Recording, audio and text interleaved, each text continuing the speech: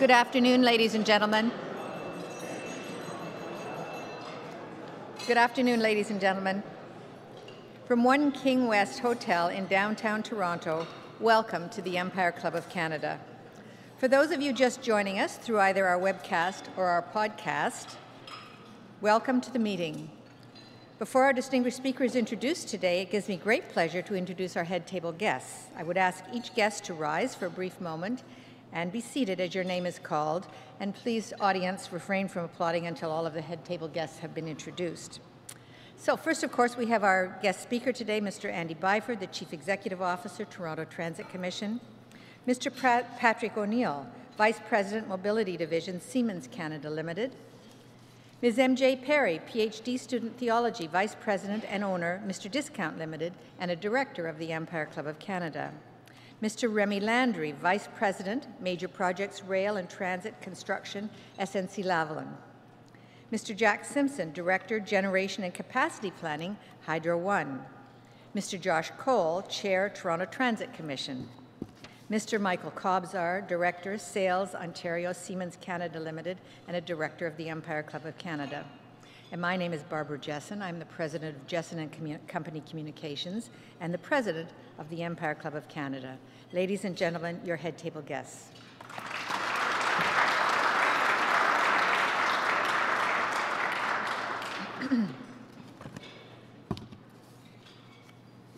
I was riding the number two to Bay Station just a few days ago when I overheard a conversation between a young man and a woman. With an increasingly colorful vocabulary, the young man was drawing comparisons between public transit in Toronto and his hometown pointing out the frequent delays and interruptions in Atlanta's service. The young lady he was with, preoccupied as she was with her phone, mumbled with dis disinterest something like, Yeah, I hate it when we have delays here too. The conversation continued to resonate as I thought about our lunch today. Specific specifically, the word that stuck out to me is when. When we have delays, she said, the inconsistency and inefficiency that characterizes the commuting experience so for so many North Americans has diminished significantly for TTC riders in Toronto. By all metrics, the TTC is excelling. Delays and rider complaints are down, rider satisfaction and on-time performance are up, and new fare systems and infrastructure have made it easier to get people where they want to go. From a period of relative inf infamy in the early 2000s, the TTC has emerged as a global transit leader recognized only months ago as the best public transit agency in North America. Please note that when I offer this praise, I am not addressing infrastructure. That is a whole other discussion, but given the hand he was dealt, our guest today has moved mountains. And he has done it with transparency and commitment. I organize my mornings, morning routine accompanied to CBC's Metro Morning, and I'm always impressed by the fact that Mr. Byford is there frequently, taking knocks on the chin, explaining delays, offering reassurances, reassurances and updates, and providing frank, honest responses to criticism. While Tor Torontonians refuse to abandon the time-honored tradition of TTC bashing, the reality is that our guest has given us a transit system that is the envy of other major North American centers. The realization of an effective and efficient and most of all safe transit system could not be more timely as transit has never been more important in our urban centers. Our guest today may be leaving the TTC, but rest assured his efforts have put a system in place that is well equipped to meet these challenges and carry our city forward into the future. We are privileged to be joined today by Mr. Andy Byford, CEO of TTC since 2012. For years, Mr. Byford has led the largest transit agency in Canada and the third largest in North America, carrying over 540 million riders on an annual basis. Over his time with us, he has been responsible for the delivery of safe, punctual, reliable bus, streetcar, SRT, subway, and Wheel-Trans services. From 2009 to 2011, Mr. Byford delivered service to a million customers a day on Australia's largest transit network as Chief Operating Officer of Rail Corporation in Sydney. From 2003 to 2009, he held the positions of Operations Director and Operations and Safety Director with UK Railway and Southeastern Trains Limited UK. Please join me in wel welcoming Mr. Byford to our podium.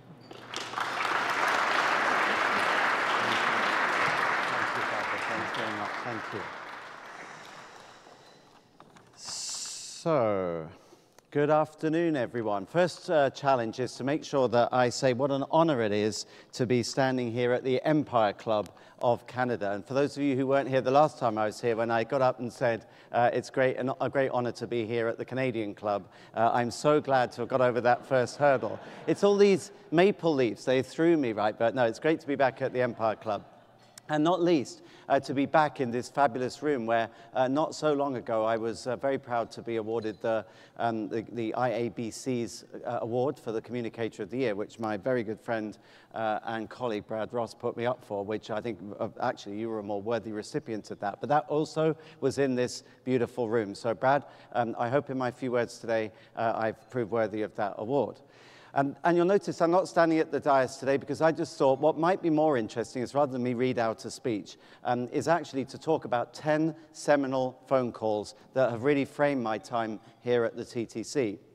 Uh, but just a bit about, you know, in some ways, about how I uh, got to be here on stage today. MJ, one of the most persuasive people I know, apart from my wife, uh, was um, saying to me from the start of the year, we must get you back to the Empire Club. And um, at the time, when I accepted this uh, honor of uh, talking to you again, I did not know that I would be going to New York. So in many ways, um, the, the, the coup for you is you get my swan song and in what's going to be a very busy next few weeks. Um, so uh, there's, a, there's 10 things I want to just talk about. Um, it's great to see so many familiar faces in the room, although I'm somewhat thrown by the fact that my boss, Chair Josh Cole, is here, and one of my commissioners, and forgive me if there's any others in the room, uh, Commissioner Joe Mihevc. So I'm going to have to revise what I was going to say uh, somewhat radically. um, but no, Josh and uh, Joe, thanks for coming. So um, Okay, so 10 seminal calls. Uh, and some of this is, is probably uh, familiar territory to you, but then I'll get on to the more re uh, interesting recent stuff. So call number one would have been the call that brought me here in the first place. I was in Sydney, enjoying life, trying to avoid uh, being stung or eaten or bitten, um, and uh, got the call to come to Toronto. And, and I've never regretted that call. You know, every time I go back to Australia, I've been back a couple of times, I love the place. You know, as soon as you walk, as soon as you arrive at um, the uh, airport in Sydney, you, you feel like you're back home. It's a great place.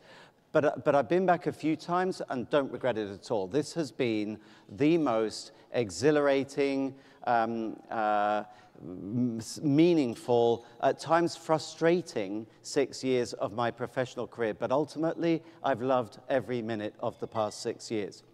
But I think back to why I took this job.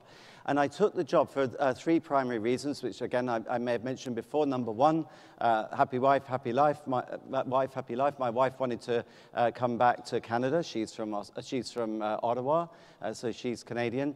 Um, but the two primary reasons were number one, I really wanted to stretch my own experience. I'm a railwayman by background, as you heard from the kind introduction. And, and I wanted to expand my knowledge to the five modes that we have here at the TTC. But the main reason for coming was because I did see a golden opportunity here. I saw an excellent company that had been run uh, by really illustrious predecessors, uh, other chief general managers before me, and who had, who had bequeathed to me a very good legacy. And I walked in uh, to a position of number two, actually. I was the chief op operating officer, if you recall, uh, take, uh, uh, taking the position that was, um, to which I was appointed by Gary Webster, who was the chief general manager at the time. Gary brought me in because he recognized it was his, uh, it was his call. Uh, so that's a big call. He knew that uh, something needed to be done about customer service at the TTC. Um, so uh, that's what I set about doing as the uh, chief operating officer. And, and those, those were the uh, very interesting first three months, gauging what needed to be done, having a look, to, look at what worked, what didn't work, um, and planning out really what, what I was going to do when, if I got the, uh, got the, the, permanent job of uh, Chief General Manager when Gary retired. Uh, well, that was the plan. Uh, that was supposed to be what happened, one year of shadowing Gary and then take over after that. But of course, as you know, uh, that didn't, that's not exactly how it panned out. After just three months, uh, I was elevated to the top position of acting Chief General Manager to begin with, then subsequently renamed as Chief Executive Officer. And what I'd seen, though, in that first three months as the COO was uh, that there was way more to do, way more to do than the challenge I thought I was coming into. For starters, and I suspect these words will come back to haunt me, I'd never been in such a political environment as Toronto. Well, uh, people have already said to me, wait till you get to New York, where um, at least politicians get on here generally. Uh, it's going to be quite the, um, the political challenge when I get south of the border. Um, but I, would seen enough to know that we needed to do way more than the, the obvious things. I mean, we, we did various things. We, we uh, undertook a quick wins program, cleaned up the subway, cleaned up the, uh, the, the, trains so that they didn't have garbage going up and down all day. We tidied up the collectors' booths. Um, you know, we did a lot of uh, work in terms of uh, introducing debit and credit facilities in, in collector booths, which was kind of crazy that up to that point you couldn't do that. So there's a lot of um, what I would call quick wins.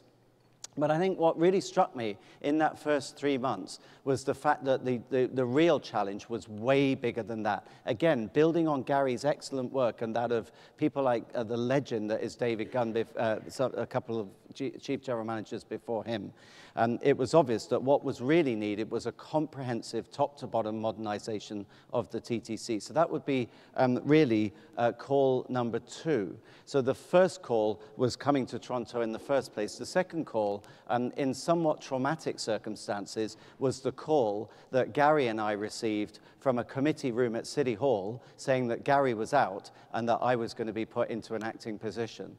And that was a very difficult time, obviously, uh, for poor Gary, uh, but it was a very difficult time for me also because I thought I had the luxury of, of a year shadowing my former boss to get to know who's who, what's where. I didn't even really know the system.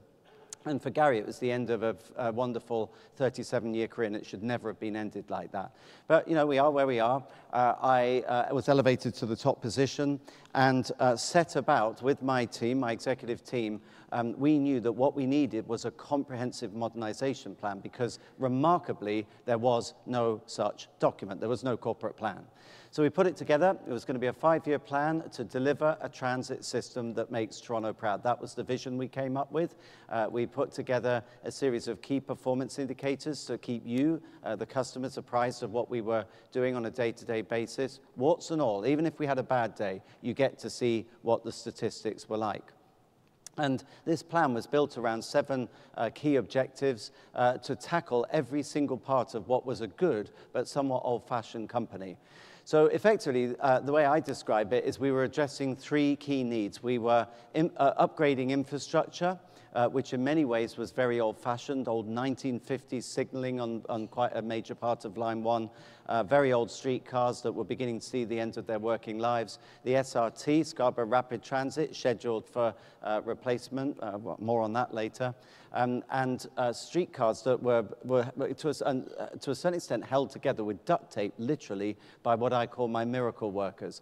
So a lot needed to be done, and that plan needed to address an overhaul of infrastructure processes were steam driven. They were the most archaic uh, processes behind the scenes, so no wonder the company couldn't be as dynamic as it wanted to be in terms of offering excellent customer service. And the prevailing culture, the third challenge, the prevailing culture was a very militaristic, top down, hierarchical, uh, male dominated, white male dominated structure that had um, seen the company well in previous years but was by no means fit for purpose uh, back in 2011. So, so that, that, that, was really what we set out to do um, over the, uh, in, in, that second call, an absolute uh, focus on modernizing the TTC. And in doing that, also embracing five mega projects, a new streetcar fleet, ATC, automatic train control, um, building the Spadina subway extension, rolling out Presto, and uh, um, embracing that new culture. So uh, that's what we set about doing. Um, so uh, as my, I got into my job, the, uh, the, uh, it was obvious to me that, that, that this was not going to be as easy as I thought because, yes, we got the plan. Yes, um, we're starting to make some difference and, and, get some positive feedback with the various quick wins that we'd undertaken.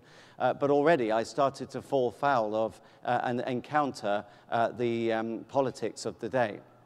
So I guess uh, call three uh, of a, uh, that defined my time at the TTC would be various calls from uh, former uh, Mayor Rob Ford, rest in peace. And, and I got very used to phone calls at 2 a.m., even 3 a.m. from the mayor, who, to be fair, was advocating for his constituents. So, so often my phone would ring. My wife would say, Don't tell me it's Rob Ford. And sure enough, uh, he'd come on the phone, and I'll always remember he would always say to me, uh, "Hi Andy, it's Mayor Ford. It's, sorry, hi Andy, it's Rob Ford, Mayor of Toronto." And I'm like, "I do know who you are."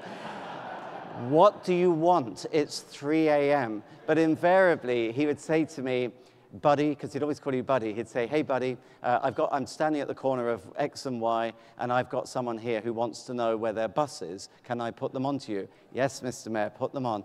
Uh, and invariably, um, so, so the person would say, well, I've been standing here for 10 minutes and my bus still hasn't got here how the hell am I supposed to know where that bus is? So um, one thing I've learned in 28 years of working in transit is the art of winging it. So what you would do is just say, oh, yes, uh, we, we have just had a bit of a problem on that route. Uh, there was a traffic accident. It will be with you in five minutes. Oh, thanks so much. Thank you. I really appreciate that.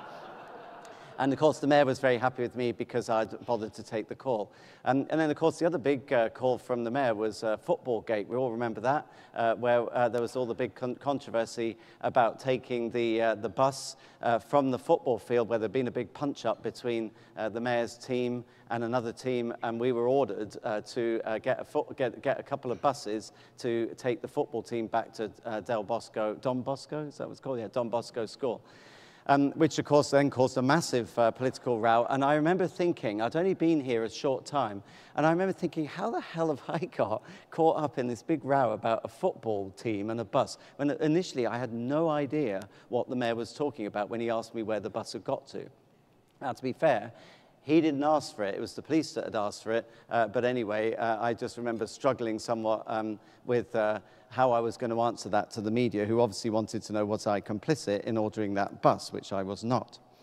Then, um, so that's call number three. Call number four, and these are the calls that, that you, you never want to get. There were certain calls uh, that I got from transit control, and one of the things I was just saying to my lunch guests was, um, when I finish at the TTC, I will have a brief period, it will be a wonderful period of four weeks before I go to New York with no phone. That's going to be so nice, uh, not least because you're not getting calls about this and that, but also because as a, um, as a transit CEO, you never forget that you are the person ultimately with that accountability and you dread certain calls. And in my time at the TTC, I have taken very difficult um, and disturbing and tragic calls. We um, had just a week into my tenure, if you remember, one week into my tenure, uh, I got a call from Transit Control saying uh, a collector has just been shot through the window at DuPont Station.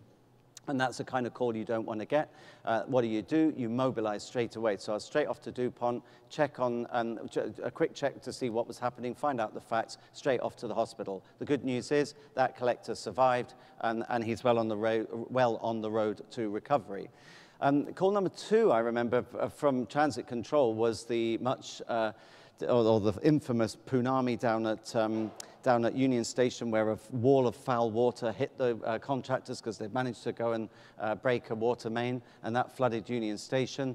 Um, and then since then, we've had two further calls, the, the, again, the kind of calls you don't want to take with tragedies involving colleagues of mine at Yorkdale and then subsequently at McCowan Station. So um, ultimately, they're the calls you don't want to take, uh, but certainly I would see them as, as also being calls that define my time here. Um, and what that did, did do for me more than ever, and I say this as an ex-safety director uh, at one of my former companies, it reinforces more than ever the need to never, ever relax. And uh, Peter, uh, Peter Sloly there knows as a former chief uh, police officer, senior police officer, uh, they, you can never relax on that kind of thing. And I know certainly going to New York, uh, the, the, the specter of the worst possible call and a major incident or some kind of terrorist attack is something you never forget about. You always, uh, you're always mindful of the need to exercise due diligence. The next two calls uh, uh, are really, or the next calls, uh, there's two of them under what I'd call call five, would be um, big calls that we made. So the first one is very topical because in just 13 days, the Toronto York Spadina subway extension will open, the Line 1 extension up to York University and to York Region. And it's no exaggeration to say that it is just stunning. Wait till you see it. Six new stations, 8.6 kilometers of track, and not any old stations. These are Wi-Fi, Presto, cell equipped stations. And the train service itself will be the new automatic train uh, signaling system that we've been progressively installing on the uh, west side of the uh, Yonge University Spadina line. So even now, today, we've got ghost trains running, and the trains are being driven by the press of a button. Um, you wait till you see that TYSSE. It is just stunning. But uh, the big call was, was, of course, back in 2015 when I had to take the very difficult uh, decision to remove the project management team and bring in Bechtel, who are an American uh, construction company. That will prove to be the best decision of my professional career because without that change, the TYSSE was headed for, at best, quarter four 2018, more likely quarter one of 2019. So bringing in Bechtel to work with the existing management team and to really focus on getting a 2017 finish, which to me was the only acceptable alternative, uh, that, will, uh, have, that, that decision will stand the test of time. And again, you wait till you see it. Come along and have a look. Uh, December 17th, 2017. Um, and then on that same vein, another big call was actually made by one of my uh, chief officers, uh, Mike Palmer, who's the COO, and that was a call to, uh, to say time out.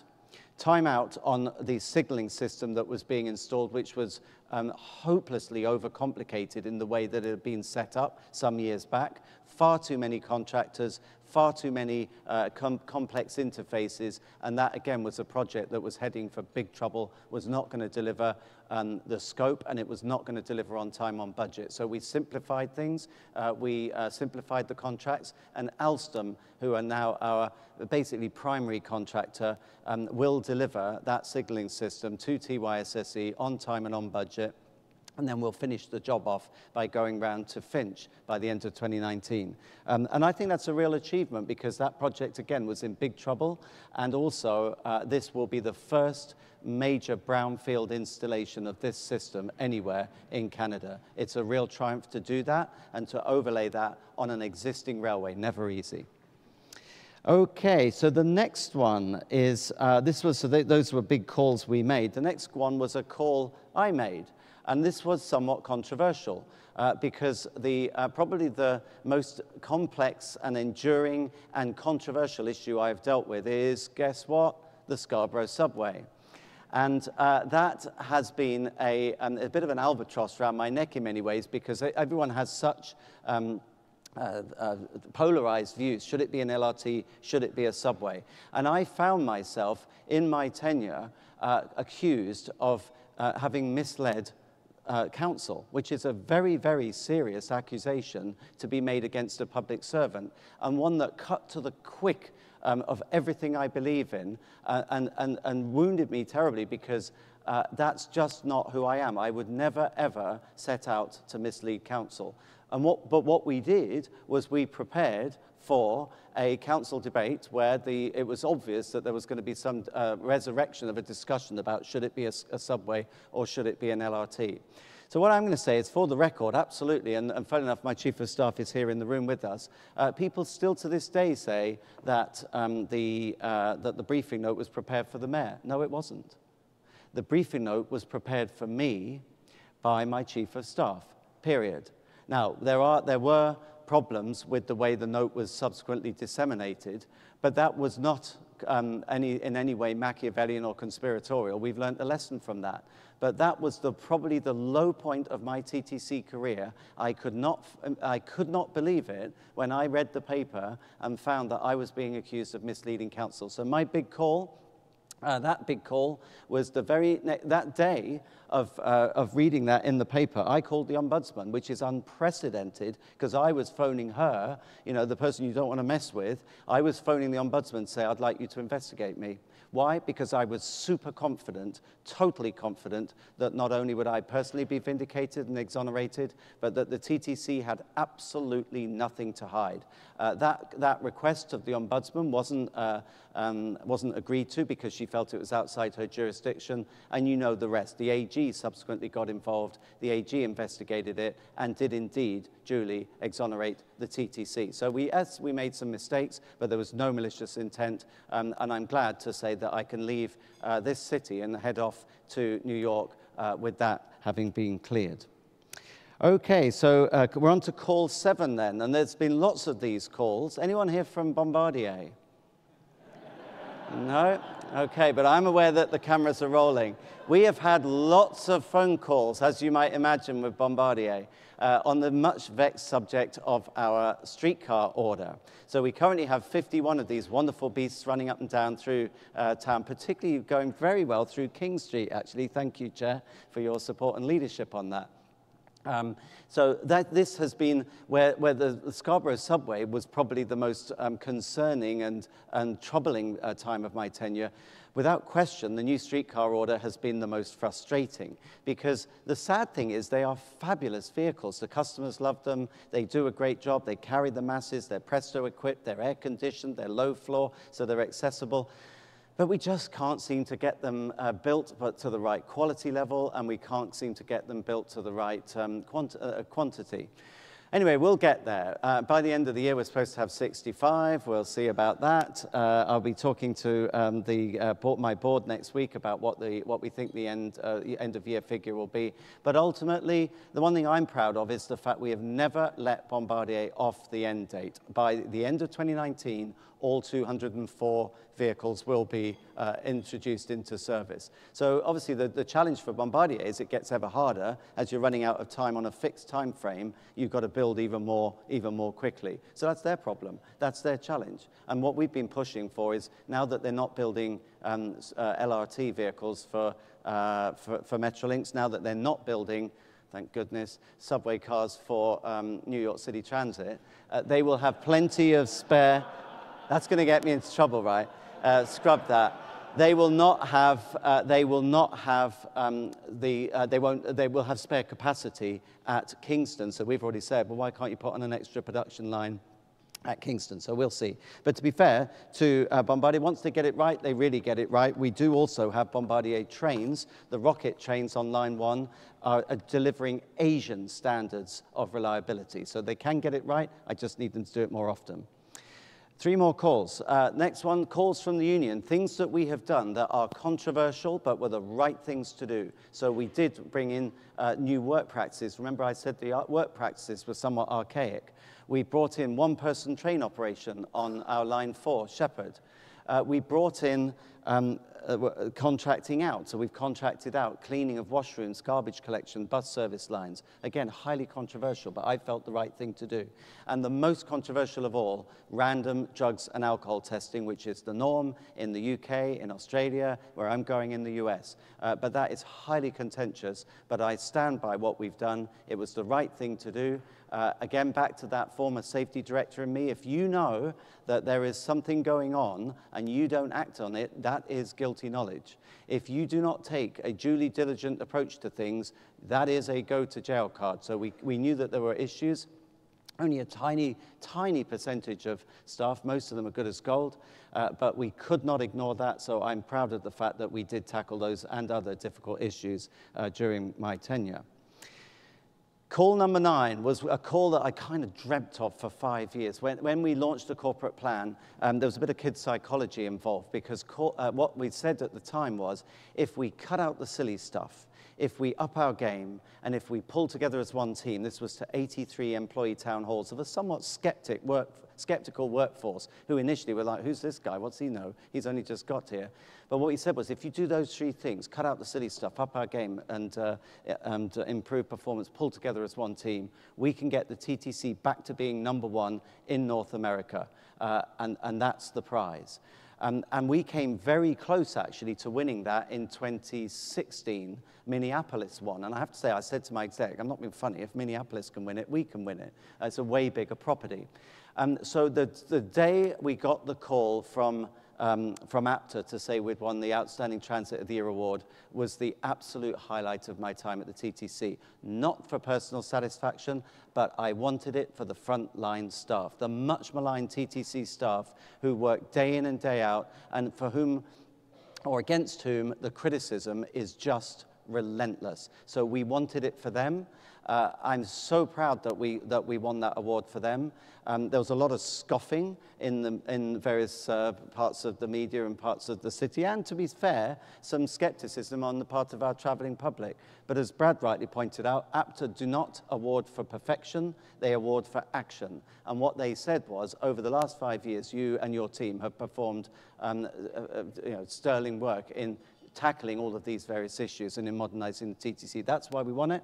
Um, and I sent a note to my staff to say, don't be demoralized by the reaction. Are our customers happier? Yes, record customer satisfaction. Are the staff more engaged? Yes, because we measure that too. And do our peers think we're doing a good job? Well, clearly yes, because they voted for it. So I said, ignore the scoffing, let them scoff away. We deserve that award. And the best thing for me was the fact that we also did a vox pop of all of our, a load of our employees, not top managers, not senior top brass, but janitors and collectors and operators and mechanics. And we asked them one simple question. How did you feel when you heard that, that TTC had uh, won the APTA Outstanding Transit of the Year award. And without, um, without a single exception, they said they, they were just puffed up with pride, that they, uh, it was uh, finally the TTC was getting some recognition and finally someone was appreciating the job that they do day in and day out, which is why when I went down to Atlanta, I dedicated that award to them. It's their award. So then that takes me full circle. Call number 10 is the call from New York. Um, so I am truly poignant about leaving. Uh, I've loved every minute of working here in Toronto. It's been an honor to lead the TTC, and it has been um, an honor to serve you, the people of Toronto. Um, I've, I've been lucky in that I've got a great team. Um, a number of my executives are here today. The TTC is just, it's a phenomenal organization. It's a much maligned organization and a much misunderstood organization. But I'm also lucky in that I've, um, I've had supportive board members. I've also had three chairs who've always backed me, Karen Stintz, Maria Audra and now Josh, Josh Colle, um, on whose watch uh, this company has, has introduced something like a thousand new vehicles. We're really making uh, progress. So Josh, thank you, and to uh, Commissioner Mihevc, thank you for all the support. Um, it's been interesting seeing what people say when they hear I'm going to New York. The general reaction is either congratulations or are you completely nuts? Are you sure you know what you're doing? Um, but I'm going really for two reasons. Number one, because it's nice to end on a high record customer sat transit of the year and the soon to be open Spadina extension, which really will be such a triumph when we get that thing open. Um, but also number two, uh, you know, any transit professional really aspires to, to, to, to, to do one of the big three jobs, I'd say Hong Kong, London, or New York. And New York aren't going to ask twice. So um, in closing, I, I'm looking forward to it. Um, we'll, see, we'll see how it goes down there. So, the way I look at it, someone's got to do it, right? It's the biggest, toughest uh, challenge in transit right now. Someone's got to give it a go. Um, so hopefully it's, um, it's the guy with the funny accent uh, who's going to go in. I don't know what they'll think of uh, having a, a, a limey tell them what to do, but um, I'm quite looking forward to it. So it's been my honor and a privilege. Uh, Madam Chairman, it's been an absolute honor to once again speak before this august institution. Thank you.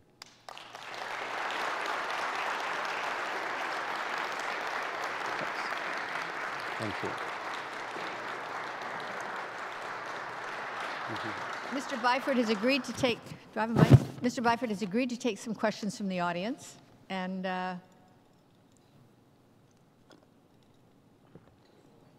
there we go, one down here.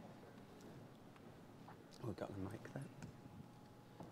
Uh, Mr. Byford, uh, the TTC is a unique organization that still doesn't contract out a lot of their work. You still have your own contract, your own uh, carpenters, your tile setters, um, gardeners, and a lot of organizations would find it strange that, uh, that you'd, you'd employ people to do that rather than co contract it out. If maybe you could talk about um, the culture the, or the, the theory behind doing it that way? Sure. So, um, I mean, we have contracted some things out. Again, it was highly controversial. That was done as part of the, well, actually, it was in the run-up to the 2014 CBA, Collective Bargaining Agreement. Um, and at the time, I took the view that there are some things that are core business, uh, which are clearly moving people from A to B on safe, reliable, well-maintained infrastructure and vehicles. Um, and some things just, to me, aren't core business. Cleaning washrooms isn't exactly our core business or picking up garbage. Probably the most controversial uh, item was we, we contracted out what are called the bus service lines, where the buses are brought in at the end of the day, uh, they are fueled, they are uh, swept out, and then they are washed and, and lined up ready for the next day. And that is actually contracted out. But um, I, I don't know. I mean, you, uh, at the end of the day, the, it may seem like an odd model. There are advantages to, know, to being able to, to call upon your own in-house uh, resource. And what I would also say is a lot of these people are highly motivated and very capable at what they do. So um, I think it's a challenge for, for the future, maybe for my successor to again look at uh, what you might call a make or buy decision. Um, but what I would say is we've got people uh, in different um, sections of the TTC who truly excel at what they do. Um, so I, I certainly don't think contracting out en masse is a panacea. I think it's the kind of thing you do on a, on a um, one-for-one basis. You know, you look to see what the individual case is. Any other questions? Oh. Mm -hmm. What would be your uh, recommendation to your uh, your successor and, and, the city in general? Where, where, do you see the TTC and transit uh, in the GTHA uh, moving in the next five, ten years? Okay. So um, specific advice to my successor, whoever that may be, would definitely be uh, to, to, I would like that, I, I, hope that the course that we've pursued as an executive um, is maintained. I think you've failed as a leader if, when you leave, the culture slides back to how it used to be. And we've really put a lot of work into culture change, into um, focusing on good people, not letting bad people off the hook, the, you know, the errant few, uh, but to, um, to recognize and to reward uh, quality people, of whom there are many. Um, we've, we've tackled a lot of issues around diversity. We've, we've uh, now got six women on our executive. There'd never been a woman on the executive five years ago. It's now six and six on merit. So I definitely hope that the, the, the change, the culture change, where you look to catch people doing things right rather than catch them doing things wrong, uh, is maintained because there's only one way to deliver world-class service, and that is through motivated uh, people who want to do a good job, not through coercion uh, because that's often been tried in various uh, transit place, uh, companies I've worked, the big stick way of managing. It doesn't work, it does short term, uh, that's not how you get sustained improvement. So I definitely advocate whoever takes over, please maintain that uh, approach because I think it's working. That's one of the reasons we have very high levels of customer sat. Um, and then secondly, keep the pressure on about uh, what, two things. One, um, relentless attention to detail and relentless work on um, improving the underlying infrastructure. So keep maintaining track, keep renewing drains, keep renewing HVAC. You know, as uh, Josh once said, the sort of the unsexy stuff that doesn't get a photo op, but you've got to do it. And, and modernizing the TTC in that respect. And then secondly, keep um, advocating for expansion. We need a waterfront LRT uh, we need to uh, get um, a solution for Scarborough. You know, the, the Scarborough subway is being taken to the 30% uh, design mark. The SRT will not be able to keep going forever. Um, and then finally, keep uh, advocating for a relief line, which I've said since the day I got here is a priority for the TTC. That's got to happen, or even with rocket trains and ATC signaling, even with the additional capacity that brings. By 2031, Yonge and Bloor will be unable to cope. Andy, I wonder uh, if you'd care to comment on the recent Toronto Board of Trade proposal that there should be one giant transit uh, agency covering all of the GTA. Mm -hmm. Do you think it's practical, and, and what would the advantages, disadvantages be, right. as far as you're concerned? Okay. So don't forget, my background is um, London Underground, and the tube comes under what is called Transport for London. So uh, the concept is familiar to me, um, and actually where I'm going, New York City Transit is one of five agencies that come under the MTA, which is the Metropolitan Transit, uh, uh, Transit um, Agency.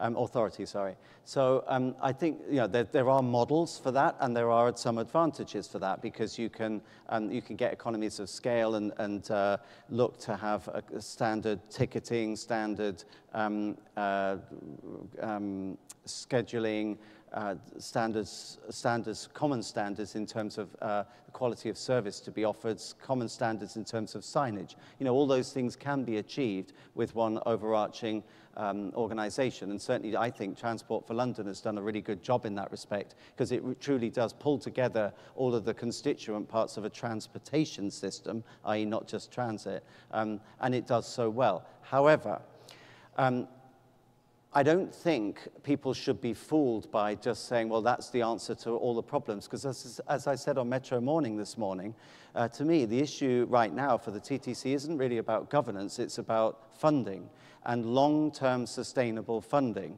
And bear in mind, the TTC, for all of the, um, all the stuff we've talked about here today, remains by far the lowest funded major transit system in North America, which, back to that transit of the year, is why I felt so strongly about it. A lot of the scoffers missed the point. We've achieved all of that in spite of being the, the, lowest funded transit. And so to me, that's the real question that needs to be answered, not tinkering with governance. I, I mean, maybe that's the right way to go in the future, but you've still got to get the funding right, or you will just have the TTC as part of a bigger organization still struggling hand to mouth year over year for um, OPEX and CAPEX funding. Anyone else? Thank you. I'd like to introduce Michael Kobzer to address the thing. Thank you.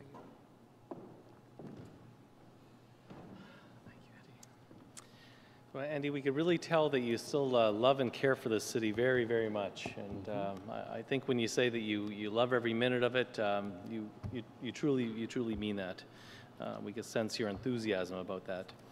But I, I, have to tell you, I was so impressed the very first time I saw you. I never thought I'd ever you know, sit at the same table, but I simply saw you on TV when you took on this job, and uh, you're being interviewed by a reporter. And one of the profound observations you had made at that time was that the TTC didn't seem to have uh, a customer service culture at all, and you wanted to impart one on the organization, for which we're, we're very, very happy that you did. And, and, uh, and I don't think Toronto, Torontonians expected a, an essential service to have to have a customer service uh, uh culture, but, uh, but, but we can certainly see the changes that are, um, often I'll have American colleagues uh, come to, to Toronto, and I always take them on the TTC, and they're quick to notice these, uh, these little pleasantries, like the uh, greeter uh, at the Yonge Bloor subway station, who's, uh, who's so polite, and he tells people when the next train's coming and thanking them for coming to the, the TTC, and they, they find that's just so Canadian, you know, to, to have somebody like that. but if there's one thing that really demonstrates who you are. I, I, think it's what you had said earlier, that you requested your own investigation on, on yourself. And what an incredible demonstration of leadership and integrity. Um, uh, that's, uh, which is very comforting for, for, for everybody to, to know. Uh, so Andy, on behalf of the Empire Club of Canada, everybody here, and I think I could say the entire city of Toronto, thank you very much for your time and comments. Thank you. Thank you.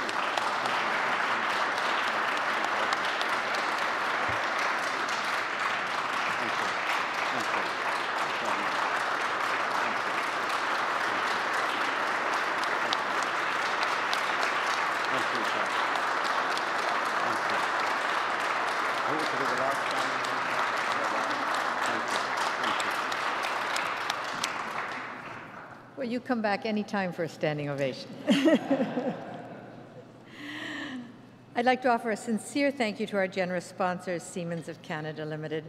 I can't emphasize enough that these lunches, which I think are so important to our public dialogue, just wouldn't be possible without sponsors like Siemens. So a very, very sincere thank you.